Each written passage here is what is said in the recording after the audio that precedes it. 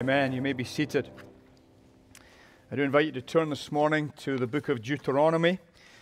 The book of Deuteronomy, we're going to be reading from the fourth chapter. As you're doing that, may I apologize that we did miss that announcement this week regarding our discipleship class. I'm just going to give you another live plug for that. We are going to be dealing with the nuts and bolts of how we seek to do missions here at IBC.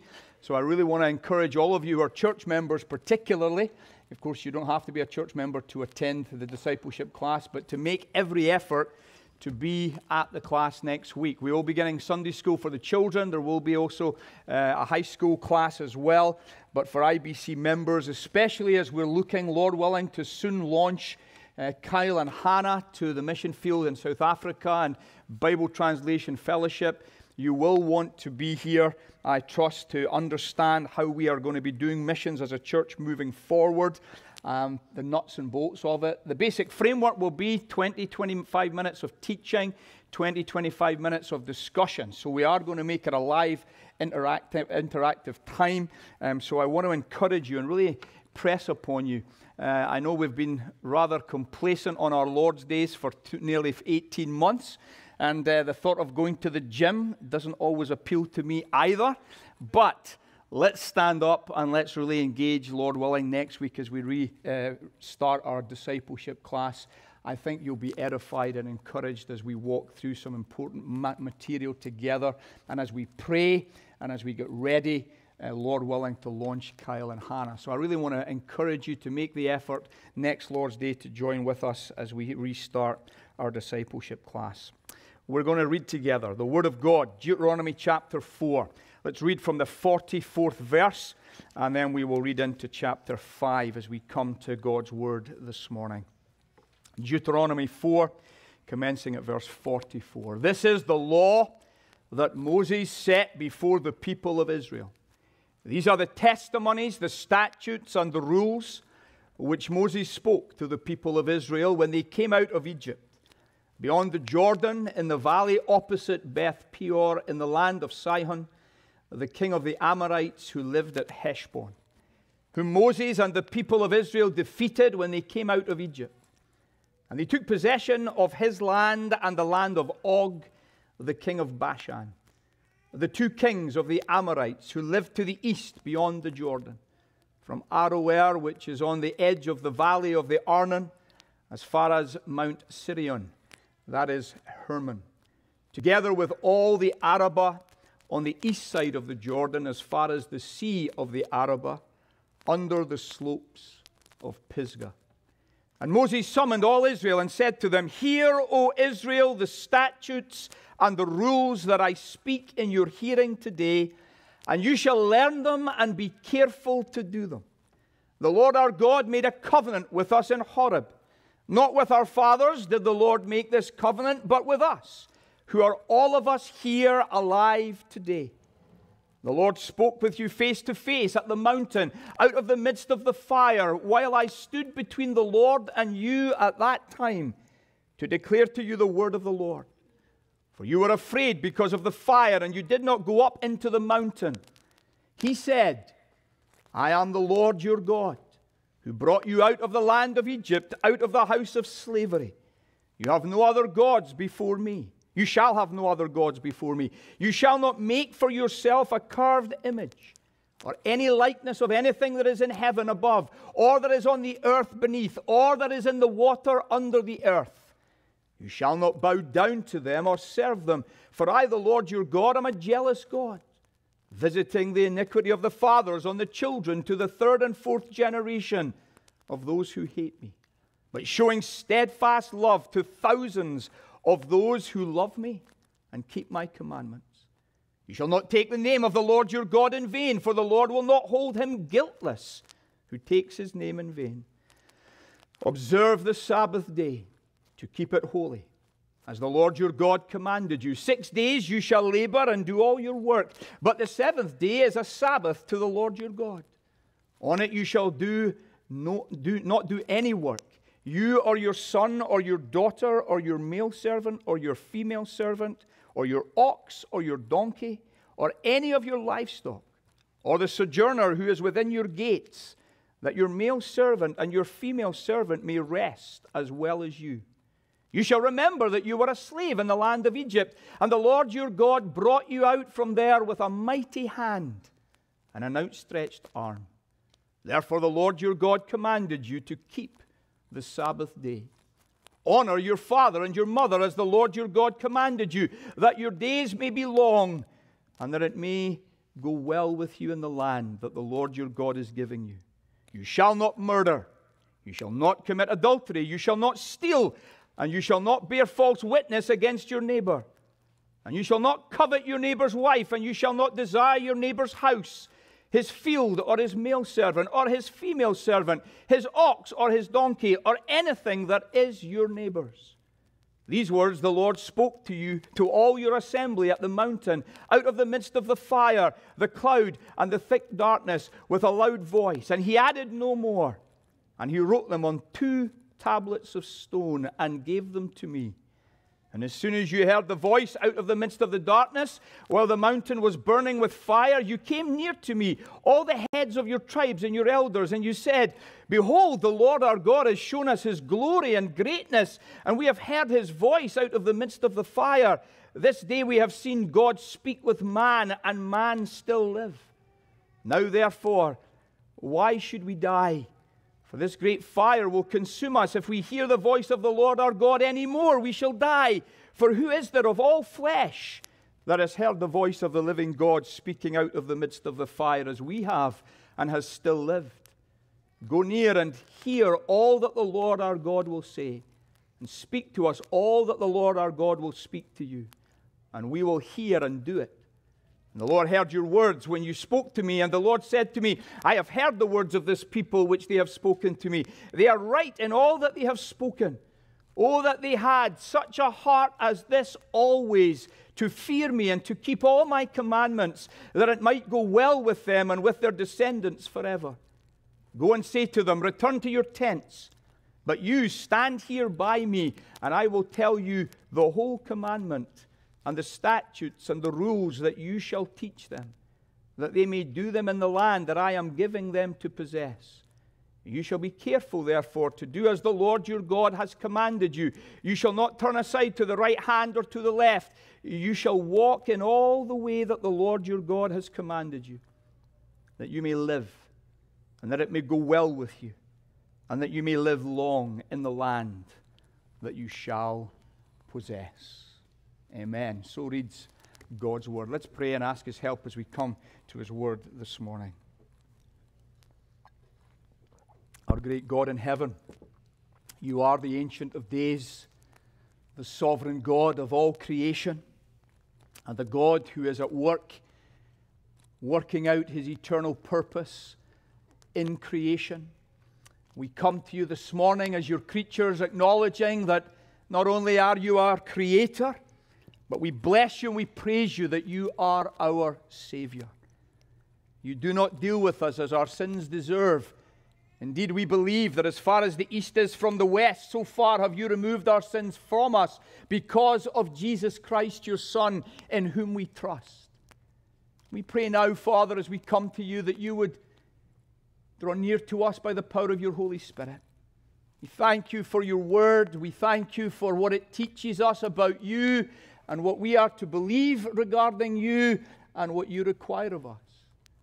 We pray now as we would take it up that you would speak and that we would hear and that we would be changed by the power of your Holy Spirit as we look unto Jesus, who is the author and the finisher of our faith. Come, O God, we pray to this place now, we ask, and transform us by your grace for Jesus' sake. Amen. The history of redemption is marked by many events, both great and small. When it comes to the big events, especially, uh, thanks to Sunday school for many of us, or godly parenting for many of us, we know them from our childhood.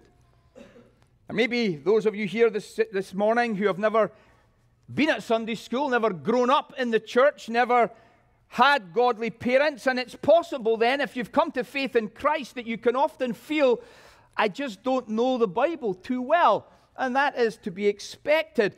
And uh, yet, you need to realize that you've come into something that is far bigger than you and far more wonderful than you will ever understand, and that is marked by some significant events that you do need to know and you do need to understand. When you read the Word of God, you discover that the fall in Genesis 3 is a big event. You move through to Genesis 6 and you discover that there was a global flood that was a big event. You then move into the story of the Exodus and you come to understand that again, this was a big event. So too was the giving of the law of God, the conquest of Canaan, the rise of the kingdom of Israel under David and Solomon. Then the Babylonian captivity that took the kingdom of Judah away after the kingdom of Israel had been taken by the Assyrians. But of course, the biggest event in the whole of the Word of God is the coming of God Himself into the world in the person and work of Jesus Christ. The life and death and resurrection and ascension to glory of Jesus Christ is the biggest event in the whole of history and in the Word of God. However, what can often be missing in our understanding of the reading of these big events is our understanding of what they mean. What is it that is significant about the fall? What is it that is significant about the flood? Uh, what about the Exodus or the giving of the law? Especially when it comes to the Old Testament, I think it's fair to say that many of us read it and then wonder so what? What's the implication? What's the relevance? Why do we need to understand this? Why is it here? What I want to say to you this morning as we return to the book of Deuteronomy is this that all of your Bible, all of Scripture is Christian Scripture. And you must come to it not as if you are a Jew who is living before Christ, but as a Christian who is living under Christ. So that you might understand that from Genesis to Revelation, what you are reading is what God intended for you as a believer in Jesus Christ. Now, that doesn't mean automatically you're going to understand how to join all the dots. That's why church matters. That's why preaching is important. That's why discipleship classes are helpful, so that we might grow in our knowledge of God and our understanding of God and His Word in its totality. All of Scripture, however, we must understand is Christian Scripture. So as we come to it, we come to it as Christians. And so here again, as we take up the book of Deuteronomy this morning, we're taking it up as Christians.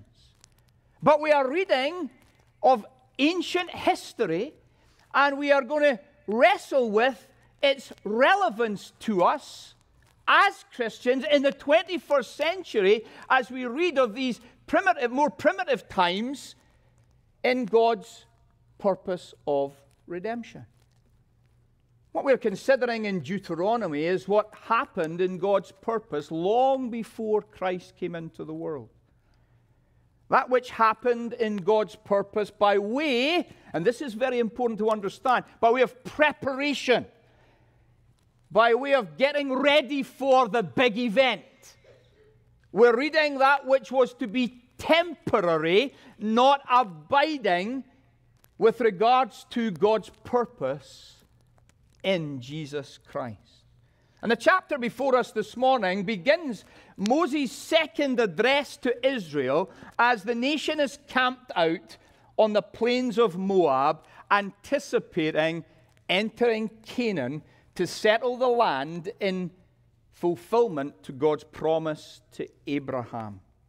And the content of this address forms the heart of the book of Deuteronomy. What we have here, starting in Deuteronomy 5, is going to run all the way to Deuteronomy 26. That's a substantial part of the book.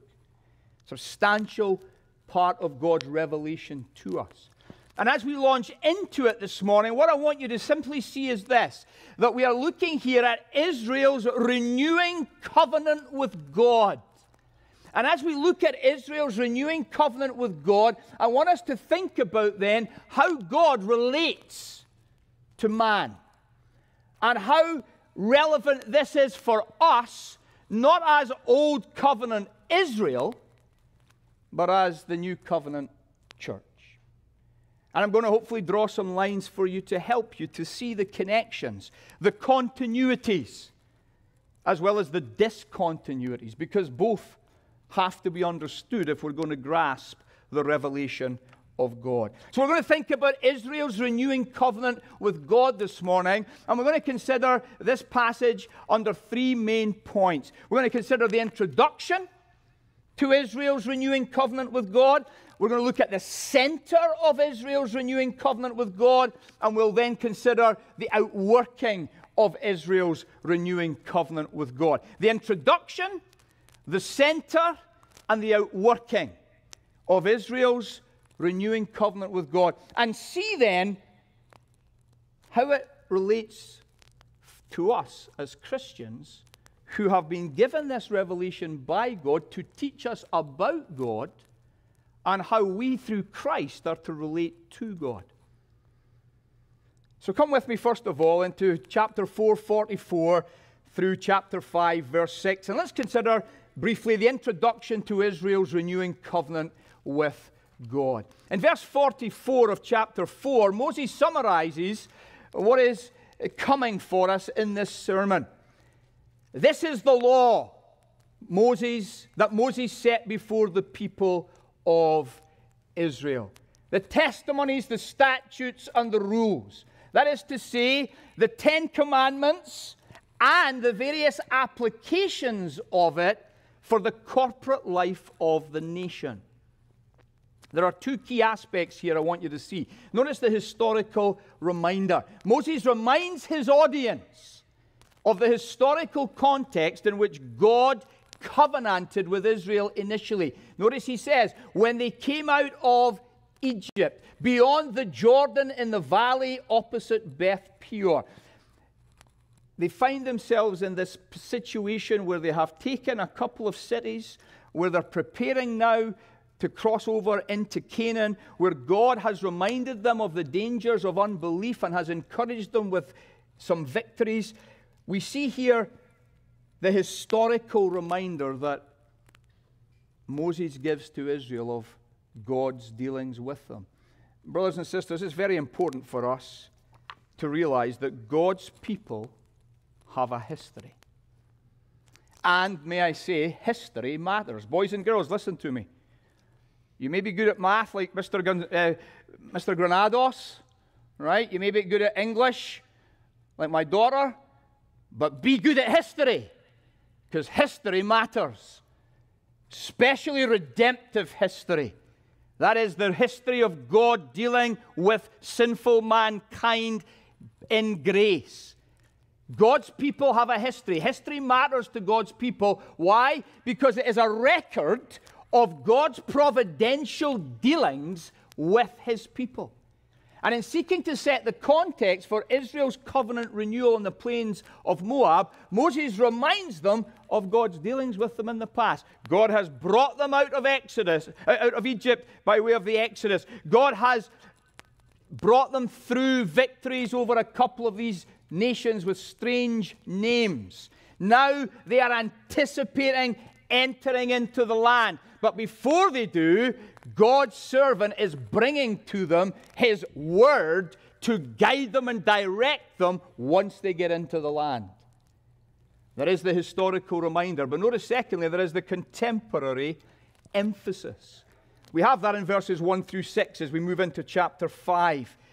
The contemporary emphasis. Moses summons the people before him and he declares to them, Hear, O Israel, listen. Something we do well to when there's a sermon being preached. Pay attention. Give heed. Hear. Use your ears. Listen to the word of God. the statutes, the rules that I speak in your hearing today. Why? Just for entertainment? No. Hear these things that you will learn them and be careful to do them. The Lord our God made a covenant with us in Horeb. Not with our fathers did the Lord make this covenant, but with us, who are all of us here alive today. Now, notice, first of all, the purpose of his declaration here as we look at this contemporary emphasis. The purpose of his declaration is that they would heed what he is saying. Good preaching wants the hearers to get it. Good preaching wants the hearers to hear so that they will believe and they will do what God says. And we see this is the purpose for which Israel for, which Moses is speaking to Israel that they would hear the word, that they would believe the word, that they would put it into practice in their lives. Notice the character of this declaration. Verses 2 and 3, he reminds them of the covenant character of God. And look at what he wants them to reflect upon. A very interesting, somewhat controversial statement. The Lord God made a covenant with us in Horeb, not with our fathers. Now, if you're thinking at all, you've got to say, hold on a wee minute. but he did make this covenant with their fathers. How are we to understand this statement? What is Moses saying? Well, we know two things for sure. The generation before Moses, before, he, before this generation, uh, was the generation that actually stood at the mountain and heard the voice of God. So, he, whatever he means, he doesn't mean that they didn't make a covenant with their fathers, because Moses would be lying. And we know he's not lying, so we've got to realize he's not saying they didn't make a covenant. What is he, what is he saying? We also know that Moses is concerned to instruct the generation now before him as they go into the land. One commentator suggests this that what we really have in this statement is not only with our fathers did God make a covenant, but that covenant was made with the whole nation for perpetual generations to come and therefore has a living and contemporary relevance for you, just as it did for your parents, and will have a contemporary relevance for the next generation. I think that is what Moses is actually communicating here to the people. He's reminding them of the fact that they are part of something bigger than themselves He's reminding them that they are part of the covenant community of God and the co- covenant responsibilities that were made with their fathers now pass on to them as the covenant people of God. And notice the manner of the communication in verses 4 and 5. They actually heard the voice of God declare the Ten Commandments. Now, I know we live in a very interesting confused age where people are going to tell you they've heard the voice of God. Right? You will only hear the voice of God today in the Word of God, in the Scriptures. If anybody tells you they've heard the voice of God outside of the Bible, they are not telling the truth. Now, they may genuinely have thought they've heard the voice of God, but they haven't. But here, God actually verbally spoke in a way that the people could hear. This is supernatural. This is revelation from God that is direct. And we see here that it is the Ten Commandments that are spoken, and then after that, Moses will then mediate to the people all the rules, testimonies, and statutes of application. But the ten words are verbalized by God and the people hear it. And the people speak of it. And the people are caused to be fearful in the face of it. Whilst there is a covenant that was established with Israel in the past, it is a covenant with abiding authority in the present for the generation sitting before Moses as he preaches here to them. And, brothers and sisters, what I want you to see here as we think of this introduction to Israel's covenant renewal is to understand that what we see here is how God works in terms of his covenant relationship with mankind. How God works. Throughout redemptive history, God establishes a covenant with mankind in time. And he sets boundaries to his covenant and stipulations with his covenant. And he continue, and that covenant, whichever one it is, continues to have binding authority for generations to come until God then establishes a different covenant. And this is what you see in your Bible. If you start reading your Bible in Genesis 1 and start walking through your Bible, what will you see? You'll see, first of all, and Pastor Steve was dealing with this recently at prayer meeting, uh, God makes a covenant with man in the garden. It's called the covenant of works, right? Or the covenant of life is how our, our, our, catechism described it, right? But nevertheless, it is a covenant. And how does that happen? God comes and he speaks to man and he gives man stipulations for relating to God. And then what do you discover?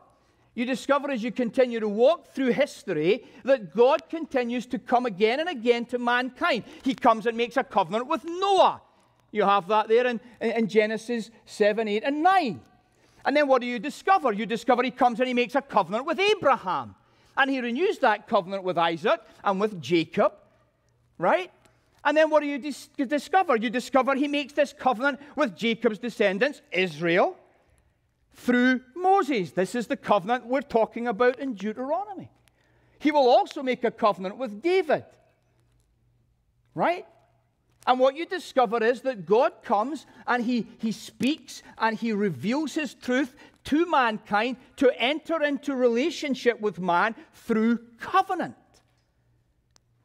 And the ultimate, final, glorious, eternal, everlasting covenant that we have in our Bible is the one that Jesus Christ established through his life, death, and resurrection described as the new covenant, called in theological terms the covenant of grace.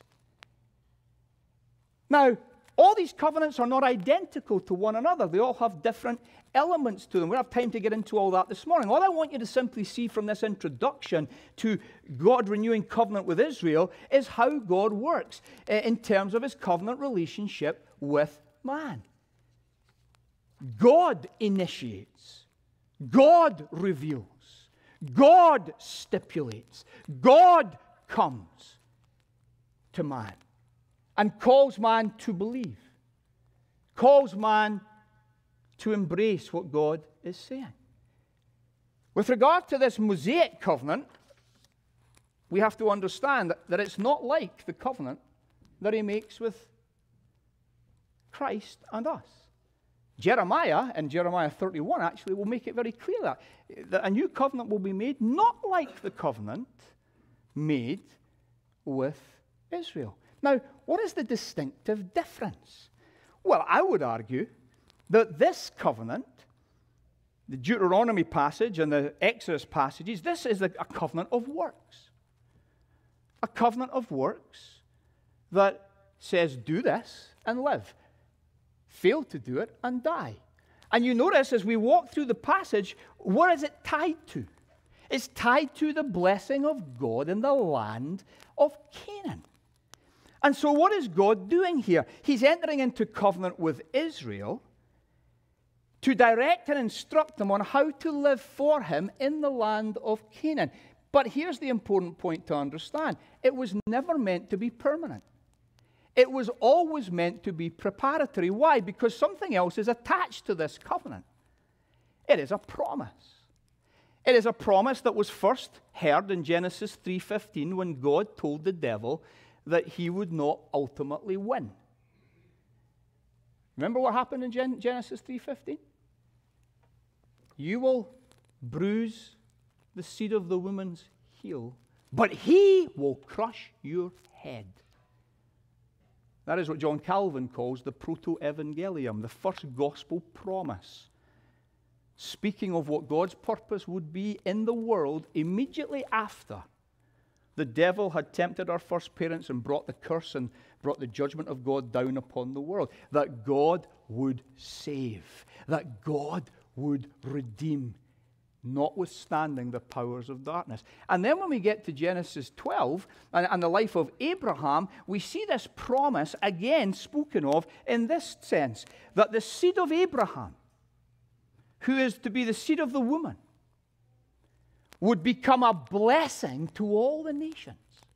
To all the nations of the world. Every tribe, every kindred, every tongue.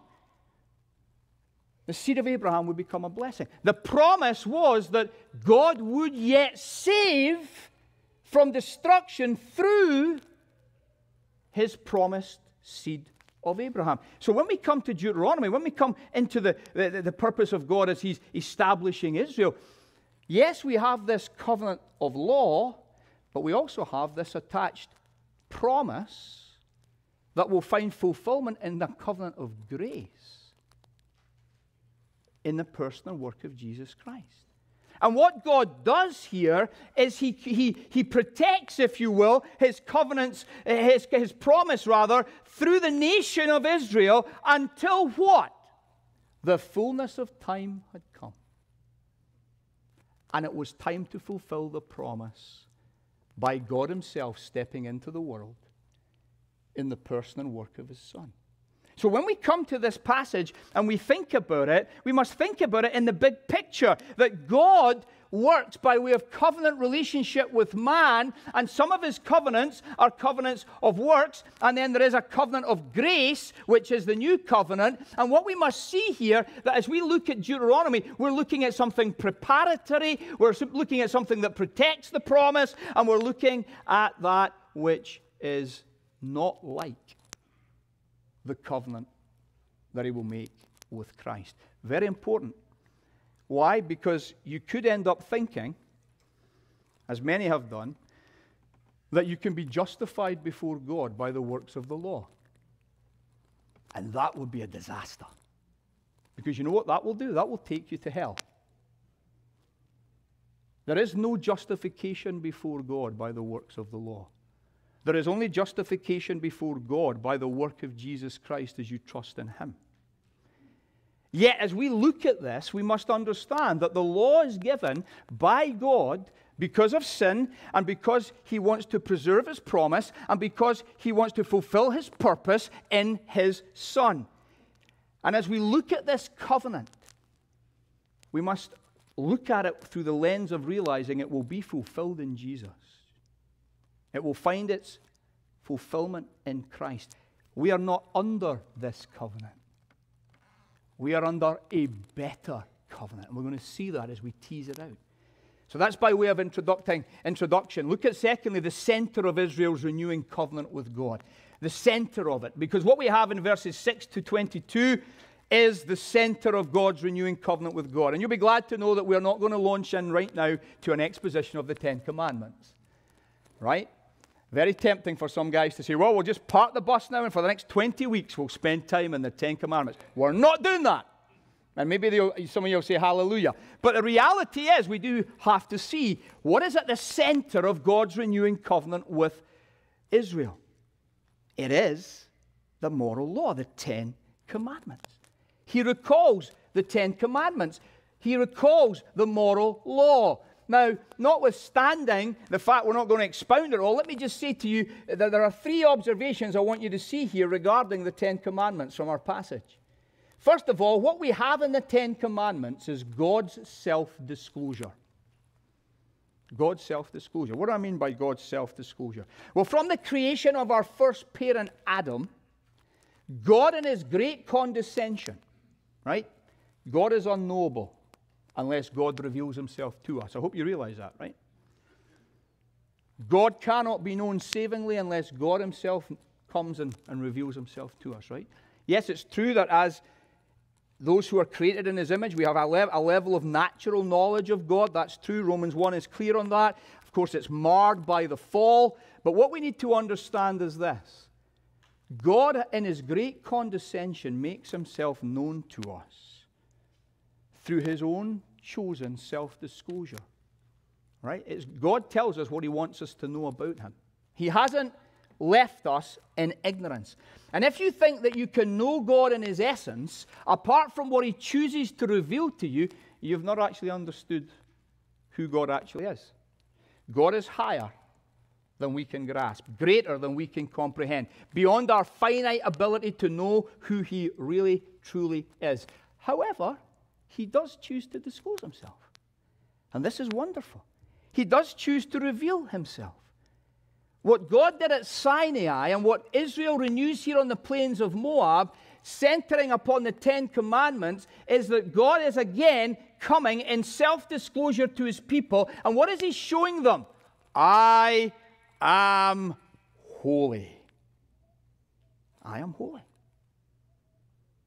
And as such, you need to relate to me as being holy. Notice, secondly, it is here that God reveals what He wants us to believe about Him and what He requires of us as His creatures. I am the Lord, your God. I am Yahweh, the covenant making, covenant keeping God. In verse 6, he reminds Israel of what he has done. He's brought them out of the land of Egypt, out of the house of slavery. It's true that they have received the grace of God by way of physical redemption.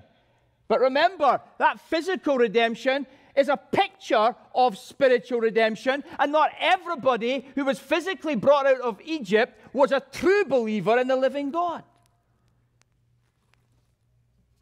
He is their Redeemer for, from bondage. He is their Savior from slavery. He is their delivery from, deliverer, deliverer from Egypt. He is a loving and caring God, and He wants them to remember that as He comes and brings His self disclosure to them. And that's what we need to see. We need to understand this. Right? As God is renewing covenant with Israel, on the plains of Moab, he's reminding them of his love and of his care for them. He's reminding them of his holiness towards them. To what end? That they would trust him, that they would rest in him, that they would live for him. And so we see, thirdly, at the center of God's covenant relationship with Israel is what? Is the character and purpose of God.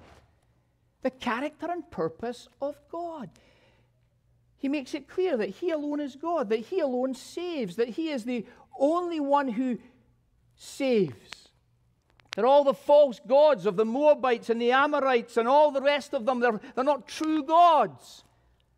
And that he alone is the true and the living God, and that he is worthy to be loved, that he is worthy to be trusted. How amazing! In 10 simple words. God discloses his character for us to behold, that we might trust him, that we might love him. You see, what we see here as we look at the center of Israel's renewing covenant with God is this the law of God, the Ten Commandments, play a role in every covenant administration of God. They play a role in every covenant administration of God. Adam was created with the work of the law written upon his heart. So are we. Right? That's why we have a conscience. That's why when you say to someone something like this, you should not tell a lie. Even though they may deny it to your face, there's a bell going off in their conscience. They know that's true. Why? Because God has put the work of the law upon their heart. That's why when you have a little one and you tell them no, and they go ahead and say yes, there's a conflict arises because their conscience has on it this, these words honor your mother and your father. Right? Man is not an animal, man is an image bearer of the holy, sovereign, almighty God of the heaven and earth. And that God has disclosed himself to us. And one way he has done that is by putting the work of the law upon our hearts. He did it with our first parents, he does it with all of us. God's covenant with, with Adam was designed to test Adam's willingness to live faithfully to God. Now, you know the rest of the story. And you're living with the consequences of it, right? He failed, so we failed. So we all fell into this catastrophic mess called this fallen world. But nevertheless, we must be clear that God's law played a role in the garden. But notice also, as you go through history, redemptive history, God's law continues to reappear and reappear until we get to Sinai and here on the plains of Moab, where God actually has told us what it contains. Right? Summed up, really, in how we relate to God and how we relate to each other. Now, as I mentioned earlier, the danger is, as many have made the mistake of thinking, well, if I just keep the law, then that will get me right with God. That's a fatal mistake. First of all, because in Adam, you're already guilty and condemned. But secondly, you haven't kept the law and you can never keep the law because of sin. And if you try to get right with God by keeping His law, you will utterly fail. And so I want to say to you this morning if you're here and you're not a Christian, it's very important that you understand the Christian life is not do better, it's not keep the law, it's not get right with God by being a good person. That's not the gospel. The gospel teaches you, first of all, that you've broke the law and you're guilty before God. And there is nothing you can do to get yourself out of your predicament.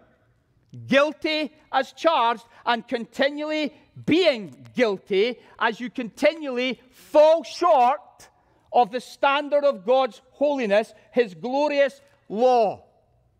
Right? It's very important you understand this. See, well, what hope is there? The hope is that God Himself has come in the person of Jesus and fulfilled the law on your behalf. That as you believe in Jesus, you will be declared righteous by God because of his life and pardoned by God for your transgression of the law through his death. You see, Jesus died in order to satisfy God's just requirements regarding his law. And what is that? The soul that sins, the soul that transgresses the law, shall die, deserves to be punished. But God punished Christ on the cross so that whosoever believes in Christ and his life and death and resurrection should not perish, but have everlasting life. So, the wonderful hope of the gospel this morning is this you, as a lawbreaker, can be pardoned and made right with God by the law keeper and the sacrifice for sin, who is Jesus Christ.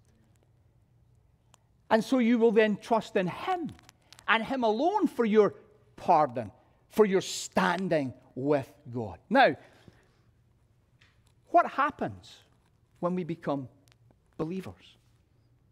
We are born again of the Spirit of God. God Himself, in the power of the Spirit, the person of the Spirit, comes to dwell in our hearts. And what does He do? He writes the law of God on our hearts in a new and gracious way. We become new creation.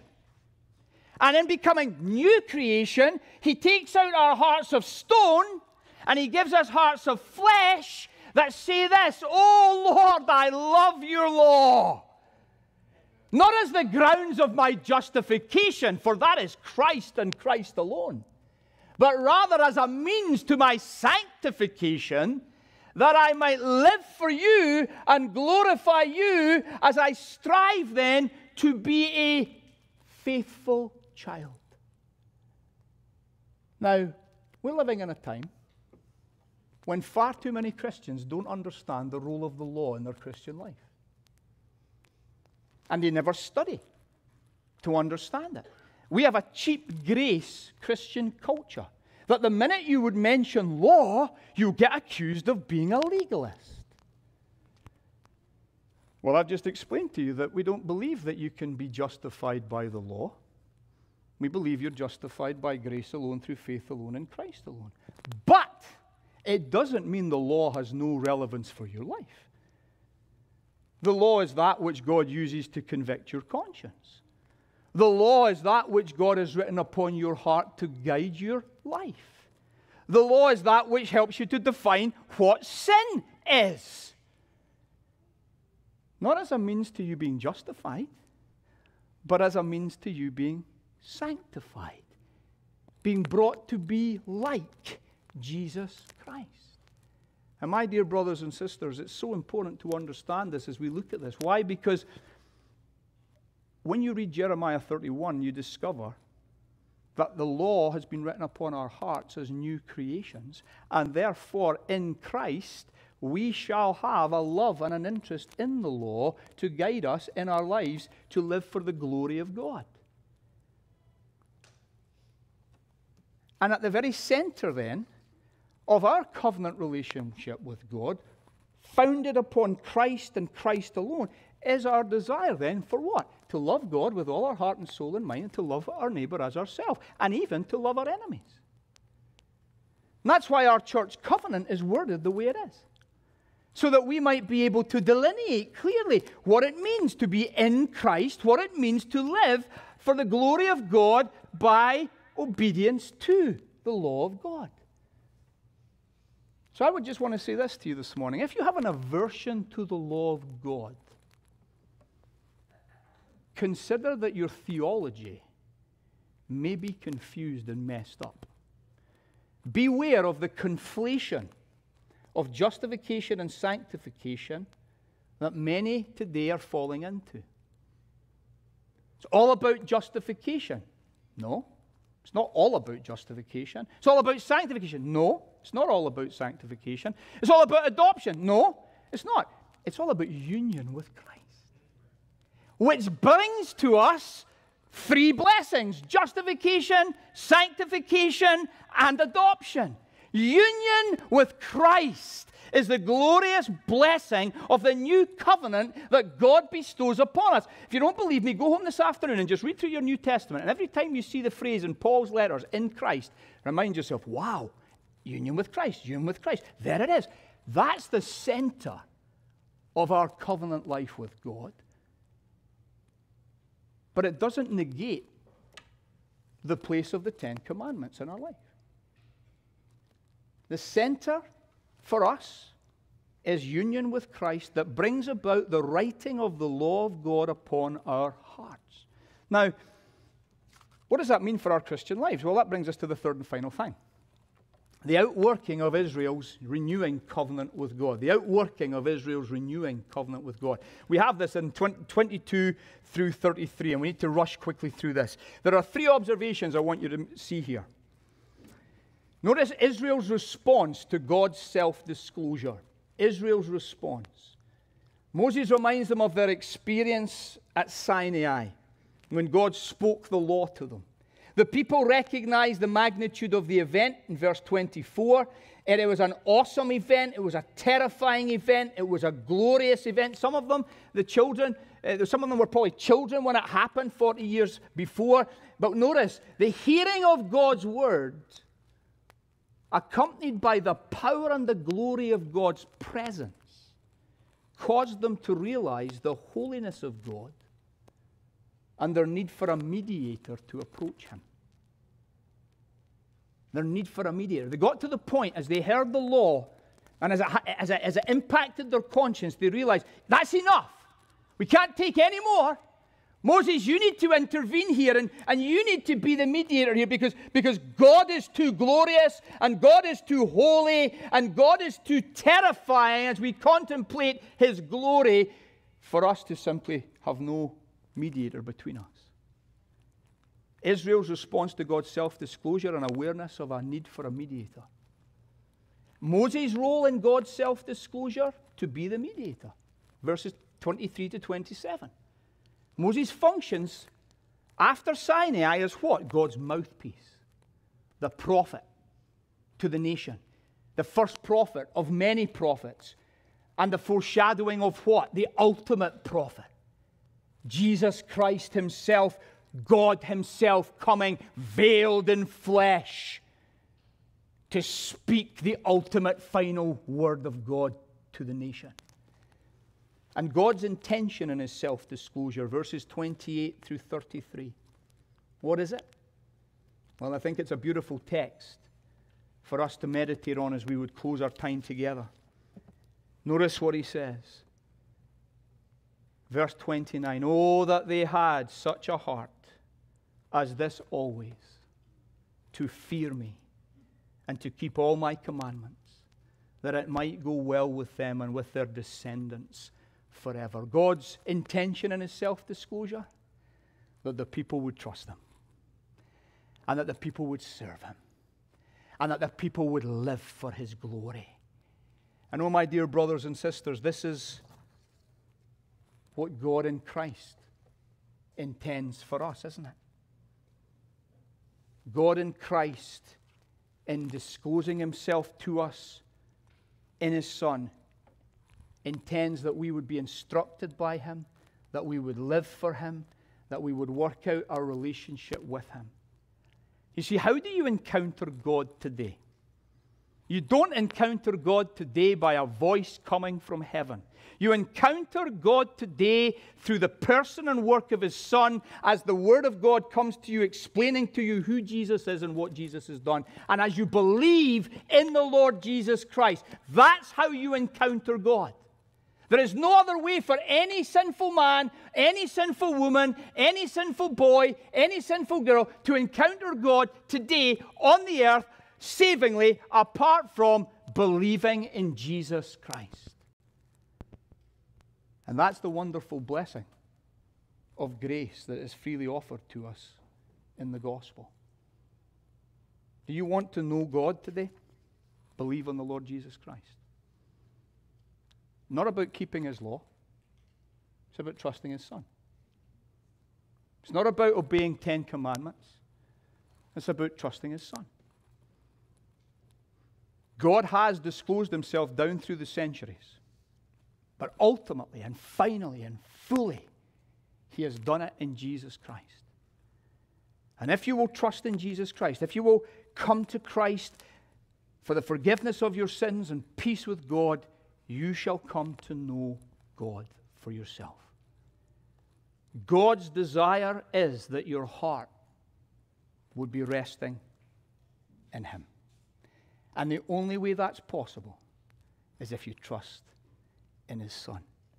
Through Christ, we enter into an everlasting covenant, a better covenant than the one that was made with Israel at Sinai. But we learn from Israel's experience, from God's dealings with Israel, what it means to be in covenant with God and how God works.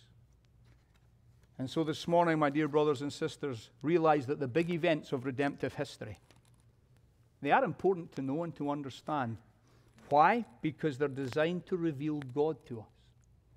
They're designed to reveal God to us that we might know who God is and what God is like, that we might trust Him through His Son and live for Him through His Son. The renewing of covenant on the plains of Moab by Israel took them and us back to Sinai, yes, but they revealed God in all his holiness and righteousness and power so that they would point to us, but point out to us our need then of trusting in Jesus Christ. These point forward, you see, to a greater day, a day that has come, the day of Christ. We live today not under the old covenant, but under the new covenant. That is the day that is upon us. That is the day that calls us then into covenant with God, not through keeping His law, but by trusting His Son, by believing in Jesus. And when we believe in Jesus, we're in covenant with God. Let's pray. Father, your word is a lamp unto our feet and a light to our path. We acknowledge that there is much for us to wrestle with regarding your dealings with man, and yet we thank you that even as we think upon your dealings with Israel in days gone by, as they were upon the plains of Moab, and as Moses declared your word to them, that these things instruct us about you as a covenant making and a covenant keeping God. We bless you, Father, that we come to you this morning knowing that you are a God of covenant grace in Jesus we bless you that it is a better covenant that we have because it is a covenant that has been made by your Son and he has fulfilled all its stipulations for us. And that as we would then trust in him, we would enjoy forgiveness for sins and peace with God. Lord, may we be a people who, having had your law written upon our hearts, be a people who delight in your law according to the inner man, and who strive to live according to it, not in our own strength, but in the power that you supply by the work of your Spirit in our hearts. That we would be a people who, believing in Jesus, would love the Lord our God with all our heart, with all our soul, and with all our mind. That believing in Jesus, we would be a people who seek to love our neighbor as ourselves, and even to love our enemies as you command. Father, draw near to us this morning. Encourage us in the way that leads to heaven. Thank you that you are a God of covenant mercy and covenant grace. Thank you that in Christ we are in covenant with you, and it is a covenant that can never be broken. We bless you for your mercies to us in your Son. Hear us for Jesus' sake. Amen.